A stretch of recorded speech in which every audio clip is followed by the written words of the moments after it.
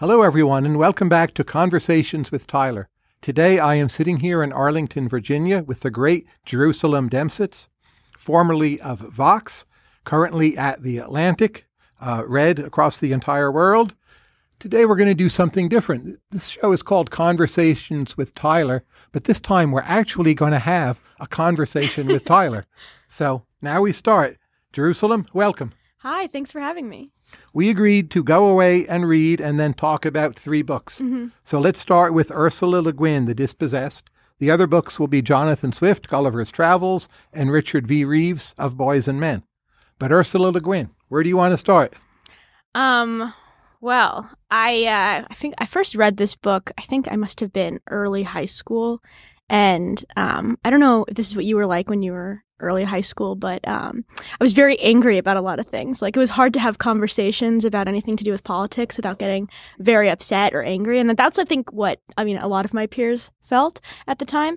And I think reading um, science fiction, it's like a way of having conversations about politics without having to necessarily feel that. And so it actually felt like a real entry point into how to start having discussions without all of that sort of, you know, um, uh, not that the emotion itself was bad, but that it made it hard sometimes to have productive conversations if like you were overcome by the things you were feeling.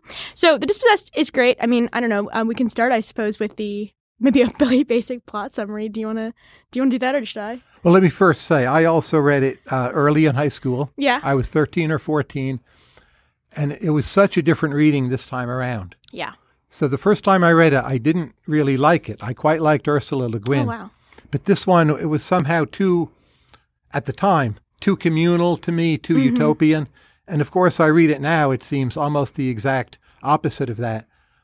But uh, do you want to start with a very brief plot summary? Sure. So, um, there are there are two uh, planets that are relevant. They're kind of close to each other. Um, one is home to sort of an anarchist, um, separatist uh, cell that moved away from the original planet hundreds of years in the past. Um, and then the original planet is sort of supposed to be more of like a capitalist. Um, planet that looks a lot more like Earth. And our main character is is a physicist who travels between the two, trying to um, bridge the gap. So I think that's like a broad summary. Uh, that makes sense to me. You know, this was published, I think, in 1974. Reading it this time, it seemed to me to be the ultimate anti utopian novel. That, in fact, the collectivist society, you have to live together with other people who are strangers. You can't rear your own children. There's very little freedom of expression. People only get to eat two meals a day. Uh, the way they talk about sex is not really very romantic, you might say. And it, it seems like a horror. I can't imagine the first time I read it, I thought, well, Le Guin is really on the side of the communal society. The other thing that struck me on my later reading of the book is just how anthropological it is as a mode of presentation. Hmm. So, as you know, her father was a very famous anthropologist, Alfred Kroeber, at Berkeley. Le Guin's mother was a well known psychologist. So it's almost not science fiction. Mm-hmm. It's an anthropological investigation of two worlds that we call science fiction because we don't know where else to put them. Yeah, I mean it's it's definitely um, I think it's referred to as an ambiguous utopia. Um, the point, I mean, I think Le Guin is pretty clear that she prefers the um, the anar- anarchist world, but doesn't shy away from the problems with it, which I think is usually the issue with utopian um, writing. Um, did you disagree? You don't think that that's clear? I don't think she prefers the communal anarchist world. Really? I think she has greater hope for it, Mm-hmm. but she's telling us unless you come up with something new, this is what you're going to get. It's quite horrible. The Terran, uh, I think, ambassador in the work, Mm-hmm. he praises the, the non communal society, uh, Urras, as the best of all the worlds Mm-hmm. that exist. Uh, you know, Earth or Terra has also been destroyed, something that sounds a lot like climate change. So the only place that works at all is the one that's a consumer society, has a lot of gender inequality, uh, rampant income inequality, and a lot of war. I think part of Le Guin's message, which was very 1974, maybe more true than people realize today, is you only get a shot at the good parts of the non communal society by tolerating this pretty high risk of war, that it keeps things dynamic in some way. I don't know. I mean, the fact that she um, gives the the protagonist is from the, the, the anarchist world, and um, he's the one who has the kind of the major scientific breakthrough that everyone is trying to get their hands on, and uh, you know this is the fact that he, she has him return to his home planet at the end. He doesn't actually. We don't know if he actually lands is and is safe there. I think it's like a clear message of um, how dis. I don't. know. I feel like a lot of the words that she uses to describe the capitalist society is quite disdainful. Um, not that she thinks somehow that um, you know that the her original world is perfect, but it's like pretty clear to me that she doesn't think it's worth it. Like she doesn't think it's worth it. The pain, the suffering, everything that's hidden there. I mean, even the the property owner um, who becomes friends with our protagonist is pretty upset with his like life there. And at, I mean, at the same time, like there's this like larger point that she's making, which is that like you shouldn't expect any society, even one that claims to be utopian, even one that has a lot of your shared ideals, to be satisfactory at any point. But um, I don't know. I think it's it's pretty clear that she has. I mean, as you said, greater hope for for the anarchist planet. I view Shevek, the protagonist, the scientist, as pretty selfish. He's quite a bit like Gulliver. What he really wants to do is travel. Yeah. And one theme of this novel is that there are some things you can only learn by traveling. And he learns those things. He wants to learn them. He leaves his family. The very last sentences of the novel make it clear he comes back empty handed. Mm-hmm. For all the talk about the scientific breakthrough, I think he never has anything. So there's never a part of the novel where it's useful or even revealed or published. And when you read throughout how the breakthrough is discussed, mm-hmm. it sounds like nonsense. so I think there's a bit of underlying, Yeah. maybe satire. Does he have anything anyway? Yeah, I think this is the. I think chronologically, this is the first of a larger um, uh, series of of not of works that take place in the same universe. And his breakthrough is ends up being extremely important later on for future communications. Um, the Ansible idea later on. I do think it's interesting that like the thing that he takes back is that it's important to have free flow of information. Um, that that's like very very. Um, I mean, he's obviously very frustrated by that throughout his time at university. Um, but again, like even back on the capitalist planet, like there wasn't free flow of information going on. They describe all the newspapers as just lying and making things up. Like at the the the, the person, the other professors at the university can't even really talk about. Um, you know, he feels uncomfortable sharing that he's dissatisfied with his home planet. So I think there's this current here, which is just like trying to really undermine the idea that there are these ideals in the in the um, capitalist society that are actually, you know, yeah, it's his rival Sabul who, who more or less makes him leave because he can't publish the idea on the communal planet. And uh, they all think he's a traitor for leaving. You know, they throw rocks at him. One of the rocks hurts his shoulder even. He wonders when he's coming back if they'll even let him back in or put him in prison or maybe even kill him. So it, it sounds quite fraught to me. So we're Sure. hearing about that Yeah. planet or moon rather from the vantage point of people who believe in it. But once you see through their descriptions, to me it sounds much worse than even the Soviet Union. um, yeah, For Soviet Union, you could keep your kids, right? That was just understood. Yeah, I mean, I think there's a there's a comment made by someone, a woman that he um, Shevek, our protagonist, meets on um, in his travels, where she says that it's it's better to have the um, you know the conflict outside of your head than to have the conflict within yourself, and that like when you are um, uh, when you are forced as they are in the in his home planet to um, never be able to kind of openly confront like the political problems because the assumption is just like there is no hierarchy there is no government so there's nothing to confront um, which makes it actually quite difficult to confront the very things that are um, causing distress and they realize that the real problems are um, within all of their own collective minds about what are um, social norms or rules that are um, actually concerning them. And i guess it just comes down to like i don't know from my perspective yes, there can be a lot of things around social norms and rules, um, and uh, things that are allowed to be spoken about that are um, that can like stifle and reduce freedom. But like nothing can be more stifling than like the state itself creating violence against other people, which we see on the capitalist planet. They're having a proxy war. Um, there's like an invasion of another country, which is meant to be a like allegory to Vietnam, I suppose. Um, but even like there's a real present threat of danger and violence, which Shevek has not really felt, um, except in a brief fight that he has early on when he's a when he's a youth on his own planet. And so to me, it's just like yes, there are serious problems, but you know, it seems But they do shoot at the more radical syndicalists on the communal planet, right? Mm-hmm. And then Shevek realizes, oh, this is what our army always was about. And there's this pretense that there's no government, but in fact, things are centrally planned by a computer, Mm-hmm. a la Daron Acemoglu, I suppose.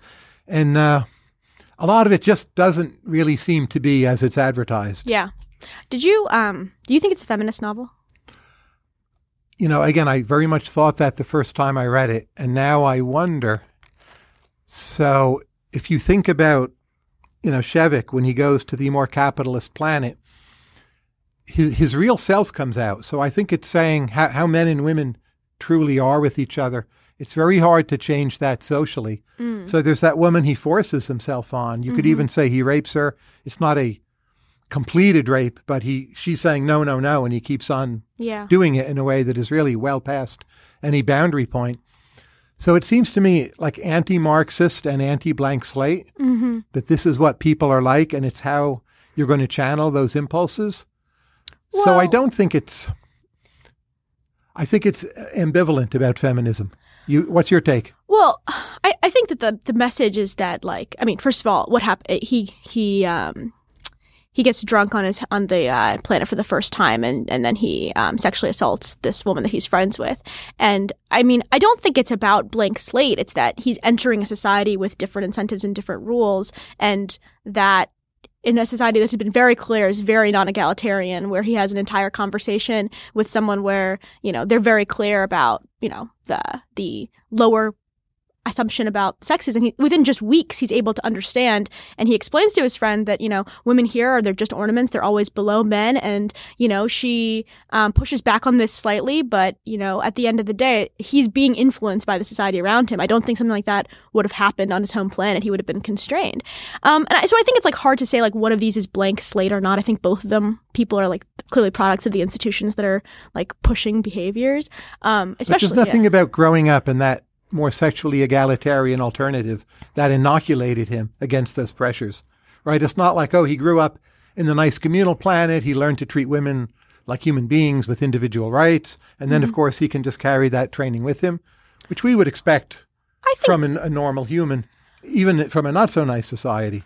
Well, I I don't know. I think it's like I think that's pretty, clearly the case that that the incentives and how different people are viewed in a society um, matters. I mean, we'll, we'll talk about Gulliver, Gulliver's Island pretty soon, but the behaviors that people I don't know engage in are going to be extremely contextual. Like if there are no laws or if there are no rules or mores around treating women as inferior, then I think it's going to open up a lot of um, things there. But also, I don't really know if we should take Shevek to be some sort of like um, you know hero, as you said. Like there are a lot of problems with this character, so it's not really clear to me that Le Guin is is like valorizing this man in in many ways. Um, I think he looks worse and worse as the story as the story goes yeah. on. Yeah, but uh, if it's a, a feminist novel, it's hard because I mean, obviously, Le Guin is a woman, and um, you know, it's interesting she chose to have her protagonist be a man, and usually, I mean, that happens all the time, but.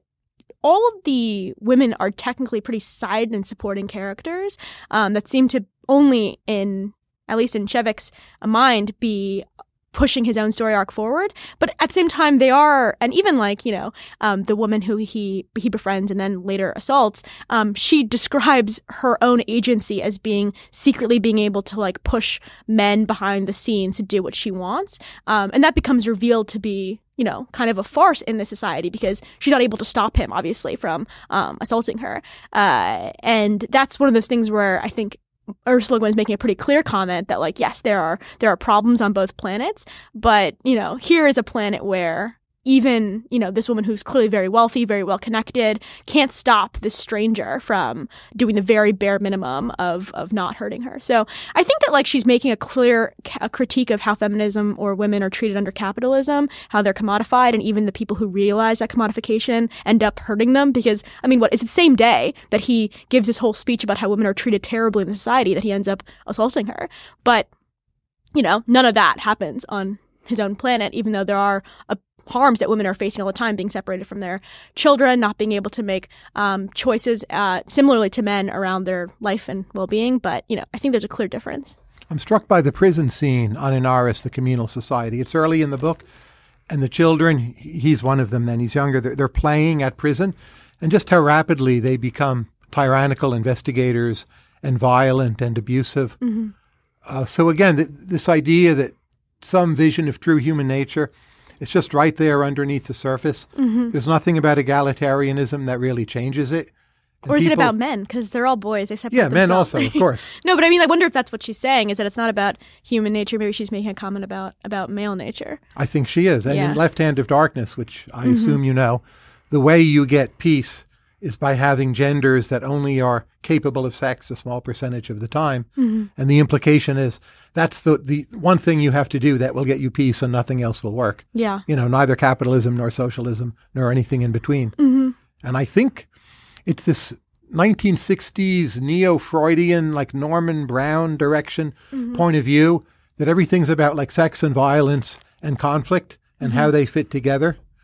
And she's, in a way, anti utopian relative to the 60s. Mm-hmm. That's how I read her. Yeah. I mean, one thing I thought about while reading this book was, I mean, I don't know if you, if you have an opinion on this, but do, I feel like people don't really write utopian literature anymore. Do you feel like that's changed? Oh, there's so much. I, I see a higher proportion of dystopias, Yes. as Peter Thiel has argued.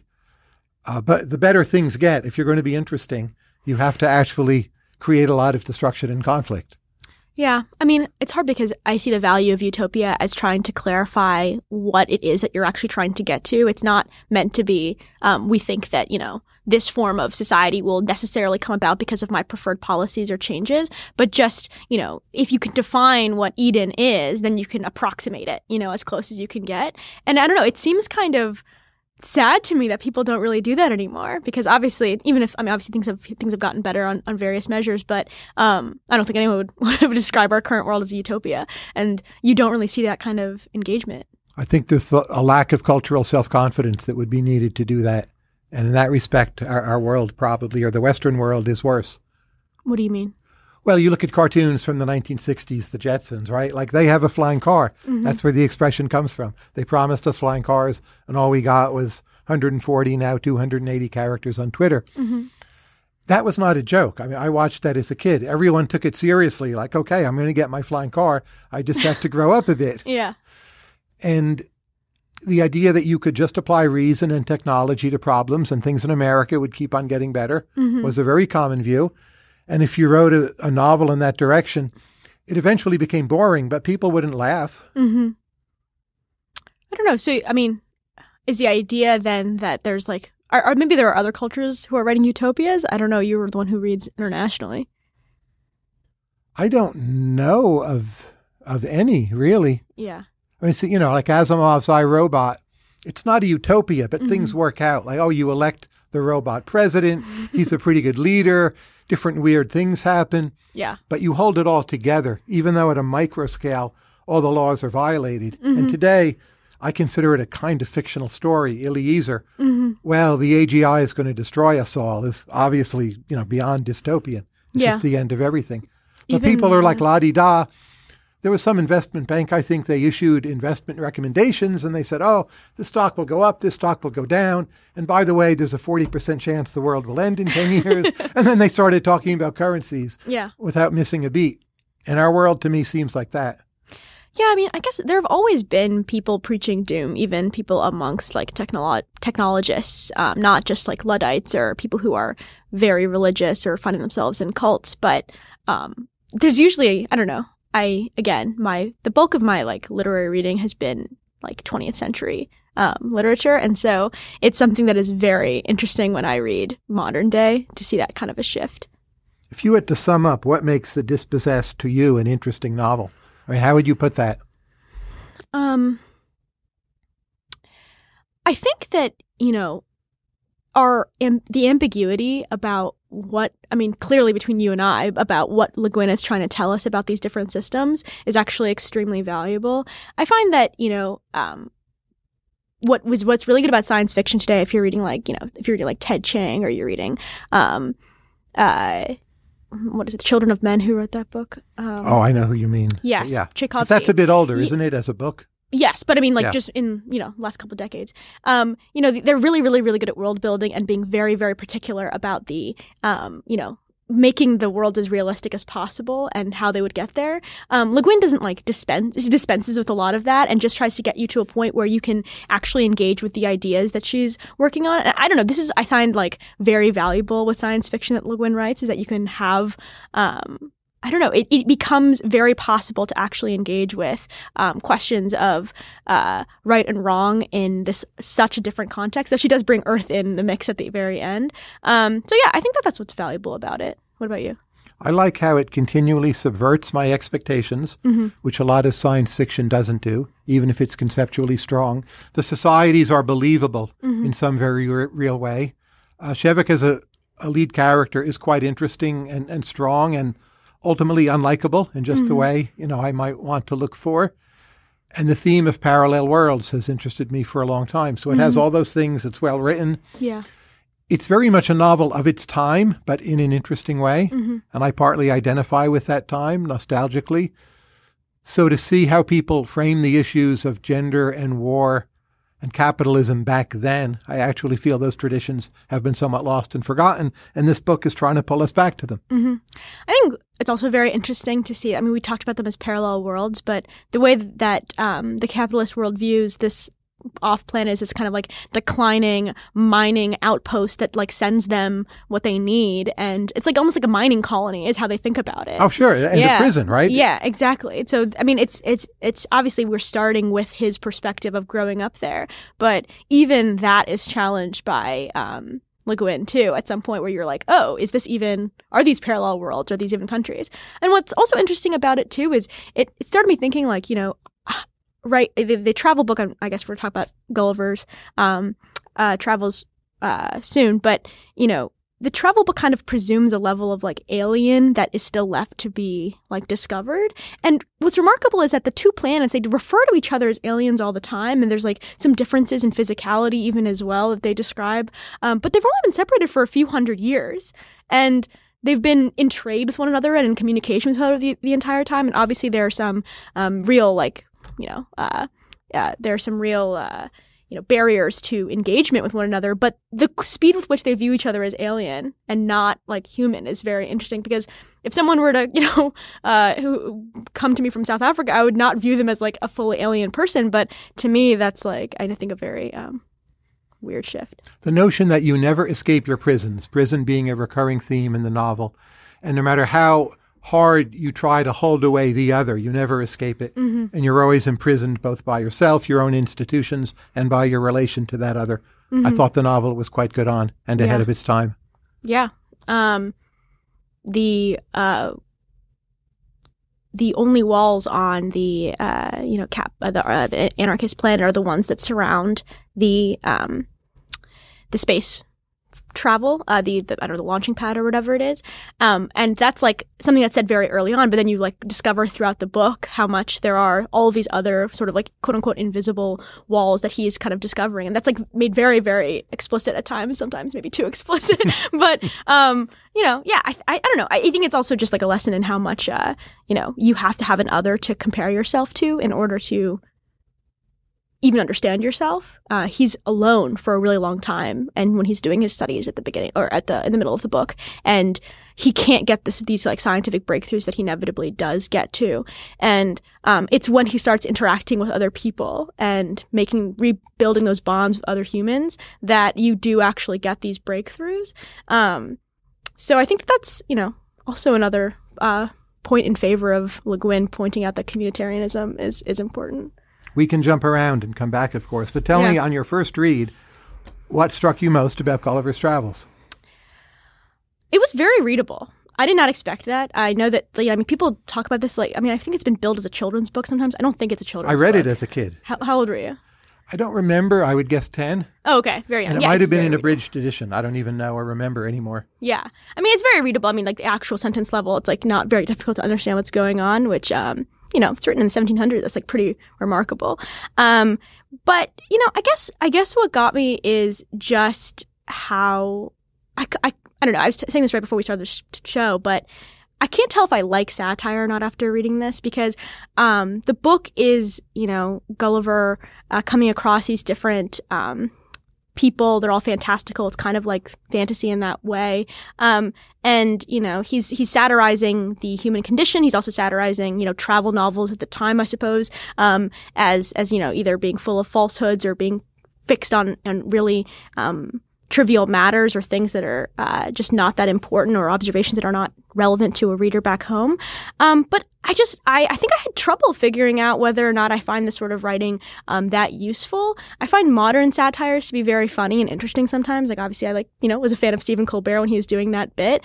But as a long lasting tool for understanding other people um, and other times, I find it kind of a barrier because how are you going to understand fully the context? Like I can get the the very obvious points that he's making about humanity and its like drawbacks but i think that you probably miss a ton um, and you know i did some like reading of the relevant contextual history but even then it feels like would it have been more useful to have a, a jonathan swift just straightforwardly i mean he's prevented from doing so at the time um, say his views um, but then i also think it's a question of length like a modest proposal which is an essay is it's a very satirical essay where he proposes people just like eating babies as a solution to i guess too many um, too many children um, uh, who are in poverty, and you know that's very clear and obvious what's going on there. But I think that in a novel this length, I don't find it super long lasting. I read this as a novel of ideas, satirical in parts, but not to me. It's not fundamentally a satire. Mm. That dwindles away, and every time I read it, I have a different take on it. So mm. I think on my fourth reading of it, this is past that. I thought, well this is a Tory being anti modern and skeptical of the science of his day. That's a pretty common reading. It's not my reading anymore. Mm-hmm. On this reading, which is maybe my sixth or seventh, but across many years, like I said, first reading I was 10 mm-hmm. or so, I think it's actually a novel about slavery. Mm. And in some ways, it's pro science. So the episode where he goes to Laputa and, and Lagado, he meets all the weird projects from the so called, you know we would call them venture capitalists. Mm-hmm. The plot to live forever. To, you know, have your brain hooked up to different devices. Uh, is a form of artificial meat. You could take it as a satire on Silicon Valley today. And it's ridiculous. Clearly, it's ridiculous in Swift's eyes, even though some of it has happened or will happen. The version of, you know, we call now ChatGPT, the books that write themselves. But that scientific society, it's the only one where there's not slavery. So when he goes to the Lilliputians, mm-hmm. they enslave him. When he's the little figure, you know, a Brobdingnag, mm-hmm. uh, they enslave him. They make him entertain them. It's mm-hmm. on and on and on, and he gets tired of it. He begins to hate it. And then the Houyhnhnms enslave the Yahoos, and at the end they tell, you know, Gulliver, who's a stand-in for Swift, perhaps, well, we're either going to kill you or enslave you. You have to get out of here because in a in a planet of the apes like fashion, you could lead a revolt mm-hmm. of the Yahoos against us. And that too is based on slavery and caste. Mm-hmm. And it's only the scientific society where people are curious and wacky and nutty, where there's no slavery at all. And it appears the most ridiculous, the least well ordered, the one most based on dreams and fantasy. Mm-hmm. Swift isn't, in my reading, not quite endorsing that, but just saying, like, look, give this a break. It's not as crazy as it seems. At least these people are running off with some other set of projects and not just brutalizing each other. So that's like my seventh reading of the book. But that didn't occur to me on any of the earlier readings, so I'm not sure how hard to push that. Yeah, it's hard because, I mean, if if Gulliver's a stand in for Swift, which I'm, I'm not sure about, um, you know, he spends very little time there. He, like, kind of gets out pretty quickly. Um, he seems, you know, kind of he finds it kind of ridiculous. He um, describes the endeavors as you know kind of straightforwardly, but in a way that like is very clear that he does not find it like a useful pursuit of time. It's almost just like these people have um, no grounding reason, um, and they're just sort of doing randomness. I mean, the way he describes like the books that write themselves is literally just a bunch of random word plates being moved around and stamping in different directions. I mean, it's not it's it's there's not even supporting sort of thoughts behind it. So I don't know. I mean, uh, you're correct that that is the only one without a, like uh, explicit like slavery in it. But at the same time, he spends so little time there relative to the other. You know, the first edition of Gulliver's Travels, there's a frontispiece and a picture of Gulliver. It's typically interpreted as Gulliver looking a lot like Swift. Mm-hmm. I don't think that means per se he's a stand in, but you're at least supposed to wonder mm-hmm. that he is. I view Gulliver as just a super curious person mm. Every time he gets home, basically within two weeks, he seems to have a nice wife, has a family. He's got to go off again. Mm-hmm. And he's learned it's dangerous, but he can't resist. In that sense, he's like Shevek. You read this, you identify with him, his troubles. But I think if you step back and ask, is he really a nice person? Not so obvious. No, I mean he abandons his wife and children At the end, he, yeah. he finds them disgusting, right? Yes, yeah. Because they're not, you know, horse-like enough for him. yeah. Um, I don't know. I think with Shevek, I had a, I'm not Shevek, with um, Gulliver, I had a hard time deciding whether or not he was smart or not because he would obviously be extremely like like self-possessed when he would come across a new either the giant species or the very tiny people like when he comes across and you you can say all their names really well but i feel like i can't I'm not. the none of us know how to say them properly. Lilliputians? Is that the small people? Um, so the, when he comes across the small people, like you know, they, they he wakes up and he's been bound by all of them, um, and he's able to free one of his arms, and then has this thought, like you know, after they shoot some arrows at him and it hurts, like they're around six inches tall each, but I guess it's like a good hypothetical. How many six inch people would it take to subdue a person? but you know, he has like he's very he has his wits about him enough to be like, I should just not present myself as a threat. And then again, when he comes across the other groups, he's very quick not to present himself as a threat. Um, uh, interestingly, the only people that he doesn't do that with are the Yahoos at the end, um, where uh, those are the humans of the planet, but he views them as beasts. And by this point, I suppose we're supposed to ex- expect that the uh, the the like Gulliver has a very low position of humanity, and Swift has a very low um, estimation of people, but. You know, at the same time, you know, he just he's he does the weirdest things. Like he pees on the queen's tower to to put out the fire because he's so much larger than the tower. But then it becomes completely unusable because, like, why would she want to live in this home that's been just urinated upon? And it becomes a problem for him at the end. Um, and he keeps again going back out there and making decisions that end up with him deserted. And I'm not sure what the rates of you know being lost at sea are at this point, but it just seems like 100%, You know, right? it's kind of wild with him. So I don't know. Did you think he's supposed to be smart? I think he's maybe a reflection of the human condition, that he is smart insofar as he's deciding to do nothing or to exercise options or to wait. Like, I'm in this new society. I don't know what's going on. Mm-hmm. I'm not going to try to take all the small Lilliputians and crush them. That would be a mistake. It turns out, in fact, there was probably some way they could have poisoned him or mm-hmm. done him in. So, all the times he just plays wait and see, it eventually works out okay mm-hmm. whenever he has impetus, he basically goes off into another misadventure Yeah. and almost dies, tortured, enslaved, whatever. So I think it's a, kind of Pascal's version of Pascal's commentary on mankind that the fundamental problem of the human condition is we just can't sit still in a quiet room. And that's what Gulliver can't do either.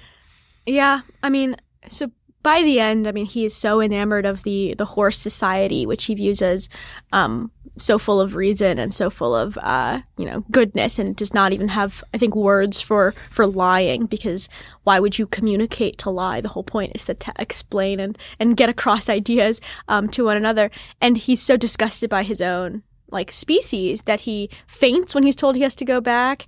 He then, I think he considers or he attempts suicide when he's being taken home, even though the person who's helping him is displaying all of the virtues that he's just said he loves about the horses. They're they're giving him their clothes off their back. They're giving him money. They're transporting him all the way back to England. Um, and he gets back to his wife, and she embraces him, and he faints again because he's so disgusted by her. And you know, I, you know, I again, obviously, it's it's it's it's, it's, it's satire. It's it's it's, uh, it's extreme, but even by the end, he's meant to still retain this extreme disgust towards humanity because of this experience with the horses. But like, the horse society is like not good. Like they're enslaving a bunch of people. Yahoos, who are probably descendant from Europeans, right? Yeah. But I take Swift to be quite critical of the Houyhnhnms, and there he's being satirical. And he's so over the top in his praise that you just start thinking, like, come on. And it's a bit like how the problems in the communal society and the dispossessed are revealed more and more. Mm-hmm. Well, the horses, it turns out they have this caste system. Like, mm-hmm. how light or how dark a colored horse are you? And today, certainly in Swift's time, it's obviously you realize what he's talking about. Mm-hmm. And uh, they don't make any progress, unlike the scientific societies, which at least try to make progress. All they're good at is poetry. They're entirely conformist. And I think he's just saying this is how things would have to be for these supposed utopian visions to be realized. maybe it's a commentary on Thomas More and other such writers. To get to a utopia, things would have to be like this, truly communal. And that would be horrible because a communal society is wonderful at oppressing each other. And I think the best you can do for now Swift and even Gulliver is actually the family unit. I mean, is Gulliver happiest in the family unit? I mean, He's he- not, but that's maybe the best you can do. He's so restless. Yeah. At the end of the novel, we're never told does he feel a need to go off again. But he did it a bunch of times with always bad results. And you don't get any feeling that he's been cured of his wanderlust, right? I don't know. I mean, I think um, obviously the the novel ends, and we don't know if Gulliver has any more travels or anything like that. Um, but at the same time, it's. I mean, I don't know if Swift is making a commentary on, you know, the only way for these. I mean, he's he's actually largely not that imaginative about the structures of society from place to place. Like there's there's always some sort of like oppressive king usually, except for the you know the the, the final society. There's usually there's like just very weird, bizarre punishments that they're being meted out. There, I mean, obviously there he's kind of just satirizing just how ridiculous many of our own customs may look like. That's the you can't escape your prisons point that I think Yeah. is in Le Guin very well and in Swift very well. I did not find the time with the um, scientists or the universities to be as. Um, I honestly set that aside quite quickly because it was such a small part of the book to me. Um, and so when I look at the rest of them, he's, you know, you have this king that's threatening to just drop an island upon his subjects if Yes. they are, you know, disobey. You have, um, other bizarre articles of impeachment that are laid against him because someone in the court doesn't like him or something like that. So most of it seems like kind of just a rebuke of royalism and like courts, which of course Swift had his own. You know, that away. faction is inevitable Mm-hmm. is a striking perspective from a 2023 vantage point. Mm-hmm. So the whole notion of cancel culture and that's in Swift. You know, there's the people who open their eggs with on the side of the big end or the little end, and they're willing to go to war with each other. Uh, that to me is very 2023 or at least 2021. Or is that just a rebuke of the idea of cancel culture since it's just the same thing we've always been doing? I think it's a rebuke of the idea of cancel culture. It's Yeah. always been with us. Faction is inevitable, which I take to be one of Swift's main points. All the more clear when you read his directly descriptive writings, like his mm-hmm. actual policy pamphlets. He's mm-hmm. obsessed with faction. It's a common theme in early 18th century writings. Oh, Britain, you know, Ireland, it's all full of faction, and this is our fundamental problem. Mm-hmm. And the other et- eternal verity in Swift, I think, is war. And Yeah. you see that in the different travels. So in his own time, there's basically a war every few years. The Dutch, the Spanish, the French, something. None of it to us now makes any sense. And I think one of the things Swift is showing us with these very odd societies, their wars to us make no sense. And he's saying the wars of his own time, from any future vantage point, won't make any more sense either.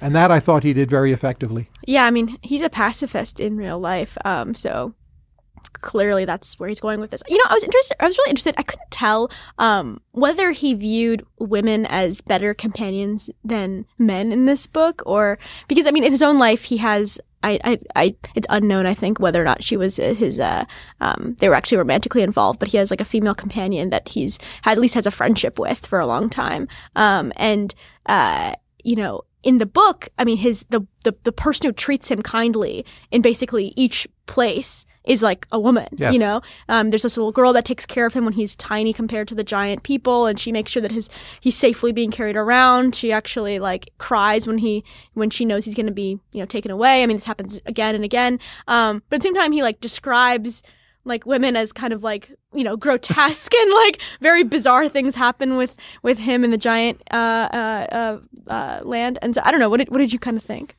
I've read quite a few of his letters to Stella, who's the woman you're talking about. Uh, they they seem really quite affectionate, n- not at all misogynistic. I do definitely think they had sex. They use the word coffee. Maybe they were just drinking a lot of coffee, but they use it in such artificial ways. Yeah. I think that's their stand-in word for doing it. and uh, that it's he views the man as the the war makers and the troublemakers. Yeah, I mean But he didn't love Queen Anne either, right? He writes that satirical pamphlet that in Mm-hmm. Straussian fashion is a criticism of Queen Anne. So it, maybe it's about incentives there too. Men are in the positions to make trouble. Yeah. And I don't know, like he's obviously. I mean, this is a, the what's interesting about this book is that it's it's written. I mean, he's writing it as a like a letter to a reader. He addresses the reader multiple times in it. Um, what did you think? How do you think that he views the reader? A bit of wearied resignation, fear that the reader is as trapped up in the silly factions of the time Mm-hmm. as the reader probably was, but actually with some sense of hope. And I read Swift as a great humanitarian who is extremely skeptical about moral progress, Mm-hmm. and he thinks to evaluate all these other institutions, you need to understand the skepticism about moral progress. So keep in mind, he's from Ireland, and the richest, like quote unquote, most advanced society of his time is Britain. And Britain is treating Ireland very badly. He frequently refers to that as slavery. He calls it slavery. And he always wants to be giving the Irish a better deal. Uh, so I don't think he's entirely pessimistic, but he doesn't see the progress in front of him. At a very surface level with the reader, it's interesting because he will he'll say things like, "Obviously, this will bore you," but then he'll just tell it to you in extreme detail. Like, I mean, things about like what he's eating or you know what he. I mean, very bizarre anecdotes always about his bowel movements. Yes, which I he's obsessed with that in many of his works. Oh, really? What what is the what is behind that? Psychologists have speculated it was an actual psychological syndrome of some Oh. kind, but of course we don't know. I don't know. I, I thought it was it was I couldn't tell if it was again, I've not read travel novels of this time and it's clear that, you know, there's some sort of like form to the genre that he's um, you know, kind of making fun of at some points in the book where, you know, he's just like, you know, readers of these kinds of novels, he'll like he'll like say that and then he'll like juxtapose that with a dear reader, like as if you're supposed to be different, but then he'll provide you with the exact same things as if he doesn't actually have that high of an opinion of you um, as a reader. All the talk about excrement and piss and all that, it's definitely a Swift thing, and you see it all over. Yeah. Just how he was. Yeah, but I mean, even beyond that, eh, where he he there's this, I remember this one passage where he goes into detail about the types of food that he was eating, and then he goes like, "Well, no one's interested in that." But it's you've written this as like you know this is the letters, like you didn't have to include that. So that kind of indicates to me this level of kind of derision for the reader that he feels like this reader is going to be interested in these mundane details that um, you know aren't actually important to the broader story or moral or message of the book. Um, and so yeah, Swift himself was abandoned by his mother in his early childhood for a while. She went off to England, probably to work. And we don't really know what happened to him during those years. Mm. Uh, but Shevek also, he's upset throughout his life that he felt and indeed was partially abandoned by his parents for a lot of his early years. Mm-hmm. So the sense of alienation in both cases, this obsession with the question, who are the we? You know, for Shevek, is it the both worlds? Is it just mm-hmm. my world? Do I really belong in the other world? For Swift, how much should I identify with these strange beings, creatures, societies that are enslaving me? With whom should I identify? He's alienated from his family, for mm-hmm. sure. He keeps on leaving them. But where exactly does he find his people? Mm-hmm. It's pretty clear that he never does. And I think maybe part of it is just in both of these novels that none of these men would not be happy anywhere, like in any context. That that maybe that's a part of what's going on here is that there's not a society that would make Shevek happy when he's amongst the communitarians. He's frustrated by um, by the strictures they put upon him, but also he's frustrated when his friend critiques them and he's angry at him, and they get into a big fight over it. And then Gulliver, everywhere he goes, he has some sort of critique. The one place he doesn't is a place where he's treated terribly, um, and it's like unsustainable for him to stay there. Um, and you can't actually imagine him providing anything of use to that world. He's literally just like an oddity that gets, you know, uh, pushed out every once in a while, like these kind of dinner parties. And part of it to me seems like, you know, it's I don't know. To me, it's like kind of an indictment of of this sort of uh, like traveling in order to find yourself or find something important or true. Um, because you know, in many ways, Gulliver does not end up like more enlightened by the end of the book. Shevek ends up right back where he was. His entire kind of goals to when he was moving there seemed like naive in hindsight. Um, I think that there's like maybe slightly that's a little bit too um, too much in the in the dispossessed world because you know we, we know later on that his his um, his connections end up being the foundation for a really important technolo- technology that connects um, you know space uh, different planets but at the same time like you know what was the point you know But still, Shevek and Gulliver, they're the two people who, who know things that no one else knows. Even reading about it, you can't really understand what it was like. And it's raising the question you know, the ancient Greeks, oh, not knowledge is everything. Like, how true is that really? What does it get you? What does it get anyone else? What does it get your spouse? Both come home empty handed, as I think I mentioned before. And they don't, neither seems happy at the end, but they had to do it, perhaps. I think I, question whether they needed to travel to get the knowledge because you know Shevek is really pushed out of his framework of viewing his own society as utopian um, by a friend who has this sort of realization.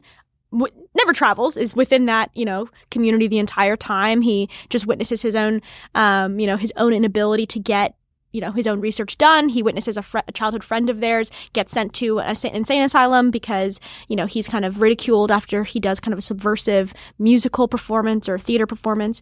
And to me, you know, like that knowledge was there. And I don't know. I mean, you're obviously a big proponent of travel, but you but know, I don't think it makes people happier at the same time.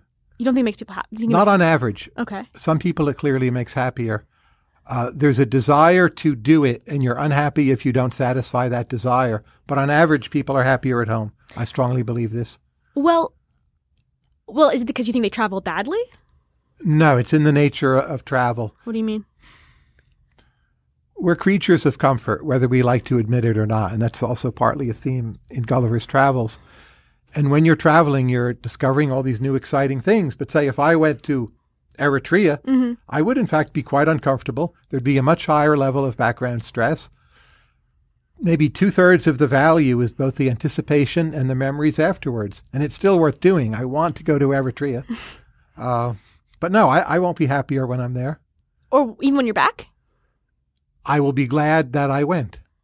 But that's partly investing in the memory and the experience. I wonder then, I mean, to me, I've, I've always had this opinion that most people oh, would. Well, a, I think a lot of people don't travel well for what they want to do. Oh, they I agree. Getting, That- they, they, end up, they end up getting like you know sucked into doing things that would not actually make them happy, and there are things that like in many destinations that would have possibly made them happy. But that's endogenous. But go- Sure, go on. but yeah. the but the other thing is more like I don't know, like there's this there is I feel like a large cultural message that you're not going to understand yourself if you don't like go travel in some way, and like because of the ubiquity of that message, especially in I don't know in the U.S. and in other like Western societies, um, especially when my friends like went to I have friends who have like gone to study in in Europe, like it's very push as an idea there. Um, you know, part of me wonders that like you actually are happier because you can at least say that you have you have fulfilled that cultural norm. You don't get embarrassed by saying I don't have a passport or I've never been outside the country, which you know. Maybe it's harder to understand yourself if you travel a lot. In a good way, perhaps, right? But What do you mean? you might rather have more questions than answers. Understanding yourself is a kind of answer. And if you just think, I want the kind of life where I have all these open questions that bug me, I would say go travel a Mm-hmm. well, then why do you tell everyone to travel? I want them to have the kinds of lives with a lot of open questions that bug them. But if they're unhappier, don't you think that might make them bias them against the sorts of openness that you? There's plenty of inertia keeping them from traveling, Mm-hmm. so I don't feel like I'm misleading them. the behavioral bias is not to travel. So if I nudge them, uh, I, I feel it's a better world, even though it's maybe not a happier world. Yeah. Well, I mean, I think that if you were to buy the idea that I don't know, happier is like just a kind of a hard metric because you know, am I happier if I'm more satisfied or more well-rounded? Like I'm not really sure. Right. It kind of depends on how that actually takes root. But you know, at the same time, it's just like the, many of the things that I've gotten from really like productive travel experiences have also been analogous to sorts of experiences when I read very, very good books or like I hear a very, very smart argument or something like that. And those are much like lower cost things to attain. And there are like millions of those versus, you know, I don't know, it's obviously costly. I think in part we travel to read better. If you've been to a lot of places, there are many more things you can read and they make sense to you. If you've hardly been anywhere, so much stuff. Like I went to Kiev in 2019, mm-hmm. coincidence. But now when I read about what's happening there, it really does make more sense to me. I don't pretend I figured it out at all. Mm-hmm. But I would have very little idea without that trip. Well, what do you like? What particularly did you learn? Just like visually understanding what the city looks like? Well, partly that, but when I read, say, well, the Ukrainians have been quite fierce in defending their country, I have an emotionally vivid image that matches up mm-hmm. with what I felt when I was there, like how people talked about what they did in 2014 and so on. Uh, just a lot of it makes sense. The geography makes sense. Uh, its religious importance to some of the Russians makes sense. Many things. Well, I feel like this is a particular way about how you travel. I think many people when they travel end up staying within very like similar social groups or like even only with Americans or the people they're traveling with and have very little interaction with um you know, like people and learning about their lives in any kind of meaningful way. I did hang out with an economist there, so maybe I'm not that different. now, you mentioned this idea of men who just can't be happy no matter what. and that brings us, we can circle back to the other books as well, but Yeah. our final book, Richard V. Reeves, Of Boys and Men. You should do you should do uh, an overview of what this book is about. I'm very bad at overviews. As a Oh. reader, I'm so selective and focused. To me, the main point of this book, and to be clear, listeners, this is not an overview, but it's simply that for men, a lot of elasticities are zero. So there's that anecdote about the free college program in Kalamazoo, Michigan. A lot more women go, no more men go, just zero. So at least for some public policies, the gender split on who responds to it is going to be immense. And I vaguely knew that before, but this book made that clear and vivid to me. That's a big contribution. There's good evidence for that. There's a lot of other different things in the book, but that's my key takeaway. What's yours? So the book kind of starts off with um, this kind of presentation of an idea where you know people have worried in recent decades about the plight of women, and now we need to also add to that the the plight of men modern economies. Um, it kind of relays a bunch of statistics around you know um, college completion rates or how well people um, you know male students do in um, in academia, but also even in earlier in like kindergarten or, or throughout um, uh, their education. And then it kind of provides a few prescriptions. Um, the most, you know, there are a couple ones that are pretty well known by this point, whether it's, you know, paid leave for fathers or it's, um, uh, you know, hiring more male teachers. Um, but the one that's like kind of different is redshirting the boys, which is basically having a presumption of starting boys one year later than girls in um, kindergarten. And, you know, I, you know, I find I found the book. I don't know. It's hard because you know I was saying this to you before we started this, but you know, most of the book is trying to convince you that the idea is a very heterodox um, idea that we should like care about men as well. Um, he addresses most of the time. I mean, Richard Reeves. He's at he's at Brookings, so um, a lot of his audience is obviously going to be at least center left, um, liberal. And so he mo- spends most of the time he's addressing them and kind of um, excoriating progressives for having this large blind spot of men. Um, and I don't know, it just feels like this is actually not engaging with a lot of work that's been done to talk about um, how men suffer under patriarchy. I mean, one of the a very very old feminist critique of patriarchy is that uh, men are going to be harmed just as much, not just as much, but um, uh, are going to be harmed. Um, even though patriarchy is going to privilege men in many ways, um, it talks about the fact that men are alienated as fathers. They don't get to have that caring persona, that they're castigated for showing emotions, that these things are going to have real harsh effects on them. Um, of course, feminism is primarily concerned with the plight of women. Um, but I think that the that the equivalence there is what's what's not that he's saying that those are you know that they're the same level of harm, but that the harm is of similar type feels um, like incorrect, right? Because the things that were happening with the women's movement are things where there are legal barriers or you know physical barriers barring them from accessing academia or accessing the job market or voting or from even being free and walking around in society and the things that he's identifying that are barring men are not there are no laws saying men can't go to college. There's no like admissions. Actually, there's like affirmative action for men, like it's trying to push men into college, um, because otherwise, all colleges in the U.S. and much of the West would be female dominated, um, more so than they are already. And so, part of me is is saying, okay, if we've identified that these two things are actually quite different in kind, then the question is like these responses have to actually engage with the cultural pushes, not just the like institutional pushes. And he has this one line very early on, which I find pretty bizarre, where he says, conservatives say, you know, um, men should be more like, like, you know, the old school fathers, and progressives just say you should be more like your sisters, and both of these are wrong. But, like, you know, we tell women all the time, and like some of these are good lessons, like, you know, you should try to salary negotiate. Men do it all the time. We tell, and that's like a very productive lesson that a lot of women learn and have like transmitted amongst themselves. And we tell them be more assertive, don't t- uh, in in conversation, and you know don't let people interrupt you. And these are all very important cultural lessons. These aren't like these are norms that have been expressed and have allowed women to do well in the workplace. I mean, even Lean In by Sheryl Sandberg is an entire book of this. But with like in this book, there's no question about like you know should men be given lessons as well. Like, hey, like the reason why you're doing better in school at a younger age, if you're a girl, is usually because you're more willing to sit still. You're able to, you know, sit around and, and do the work. And, um, you know, reading is the big place where there's a divergence. He talks about English scores a lot. And there's nothing stopping men from reading. You know, it's like it's like one of those things where I, I feel like there's like a complete abdication of any kind of idea that there should be some kind of cultural shifts around what you should be telling young boys to do. I don't know Richard Reeves at all. I'm not saying these are his views, but when I read a book like this, I can tell you where my mind runs. Mm. And maybe there is even some chance he can't say everything he might think. The core message, as I read it, again, not saying it's his intent, but just men and women are more different than we had thought. And I was already someone who thought men and women were pretty different. So if I pick up that message, he's really saying men and women are pretty different, more at the margin than I had thought. The policy recommendations, whatever one thinks of them, they're sufficiently predictable and anodyne that there's an alternative reading where even if you think they're fine ideas, you dismiss them a bit and you wonder if he's not just saying there's not actually a way to solve that problem. To circle back to the other books, especially Ursula Le Guin, on the capitalist society of uh, men are clearly in charge and dominant, and they're only men are scientists.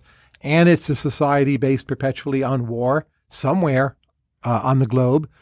And the notion that men do well in societies in relative terms when there's a lot of war, and it's better to get rid of war. But when you get rid of war, just a lot of men won't do that well because they're not well suited to that kind of society. Uh, that's the alternative reading. That to me is more on the table than arguing about the small. Do we start them any year later? Which I'm not opposed to. I don't know.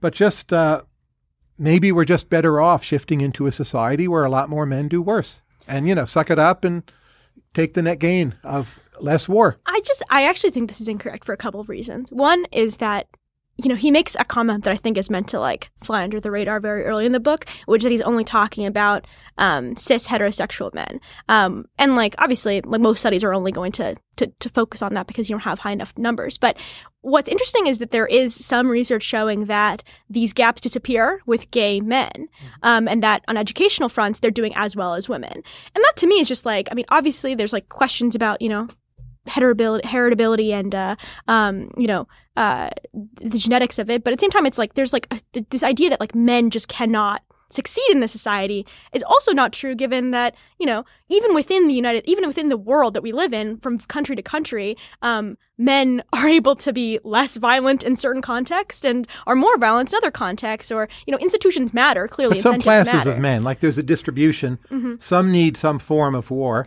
Others become Mark Zuckerberg, obviously do incredibly well. There's a kind of sublimation or rechanneling where certain male instincts get put in other directions, and the, these people just have incredible lives. But in terms of the whole distribution, you know, wherever gay men may fall in that, maybe it's the case 20, 25% of men. Uh, in a society where there aren't that many manufacturing jobs, very few active wars that you might go fight in, gang warfare is not a thing. I'm not saying that's good for men. It's clearly more destructive than just sitting at home and watching porn or you know smoking weed. Uh, but nonetheless, there's some cultural vigor from the subset of men that is just sapped, and we're not getting back. And uh, just wondering how much do we need to write that off? I, I just am a strong believer that I mean obviously there's always going to be outliers and but like as Reeves mentions multiple times in his book like even though on average men may experience X or Y or see traits whatever there's like remarkable overlap of the genders. Like there's tons of women who are quote unquote more aggressive than men than there are uh, than men than other men or um you know so or are above the mean for or median for uh, male aggressiveness or things like that. And I think my question is like, yes, maybe there are like tail you know, tail uh, risks going on. But at the same time, you know, incentives matter a lot. Like the fact that there are a lot of men um, who are wealthy and white who are able to, you know, uh, escape this like quote unquote masculinity trap just indicates that like there's institutional things that you could do to affect large portions of the population.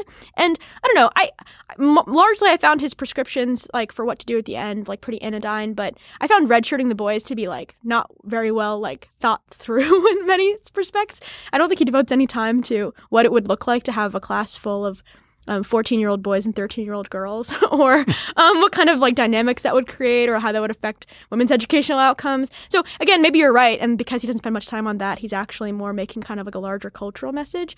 But I don't know. I think that like we're entering a time and maybe like the through point of all these books, as you mentioned, is just like this question of what is base instinct and what can be actually mediated by political or economic institutions. Um, you know, we're entering a time now where people are like spending a lot of time talking about the heritability of traits and what that means. And, you know, um, I feel like to become that fatalistic about people would require a lot more action on like very low hanging fruit that we know we haven't done on policy matters. But in Gulliver's Travels, of course, we neutralize the destructive tendencies of men by having them do science, mm-hmm. even if it's silly, and having them build these dream worlds where you can supposedly, maybe you're actually visiting them, but it's at least the fantasy that you're visiting these dead ancestors and talking with them, mm-hmm. which is also in a weird way a little bit like some of the chat GPT models and their offshoots. Mm-hmm. Um, I don't know. I feel like this is a very like low opinion of men that is like being described by um, but if, if you if you think that's what all these authors are, are sort of getting at, then it's and that it's kind of intractable. It's I don't know. Do you agree with Swift about the difficulty of moral progress? That it's difficult. I agree that it's difficult. I don't think that. I think he's much more pessimistic about it than I am. I mean, given how quick the gains have been in my own lifetime around moral progress. Um, so yeah. you're with Steven Pinker, more or less.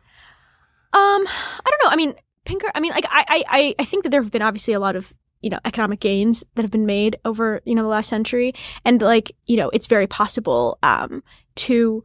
Um, I think that ideas are very very powerful, and that in general that pers- over time um, it really matters if those ideas are true or can be persuasive. And as a you know I'm you know a classical liberal and like I think that like it's true that there's equality um, um, across people. And so I think that those ideas end up winning out time and again because they're just unsustainable when you set up societies that don't work that way. Um, they'll be beaten by other societies that are more egalitarian um, that can take advantage of other people. And so I think moral progress like goes along with kind of the economic progress. Think those are the inextricably linked and so you end up beating out other other countries.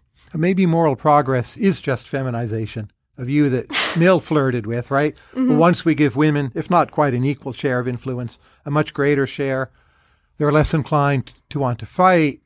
That's a good thing, maybe more risk averse on average. Given the destructiveness of war, that's a good thing. Uh, but perhaps it's the same process to some extent. And now with birth control, it appears permanent, this higher influence of women, right? There's no, no simple change that's going to reverse it anytime soon.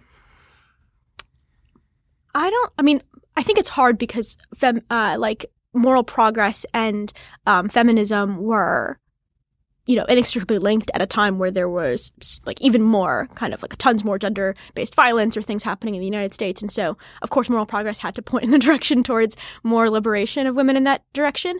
The idea that it's just you know that that would be totalizing seems um, incorrect. I mean, it really depends on the structures that are then set up once women are freer but you don't you can't get around sort of like biological sexism in some ways like the fact that women um, you know have these i mean the costs of the wage gap are, are largely explained by the cost of having children and what happens after you have kids.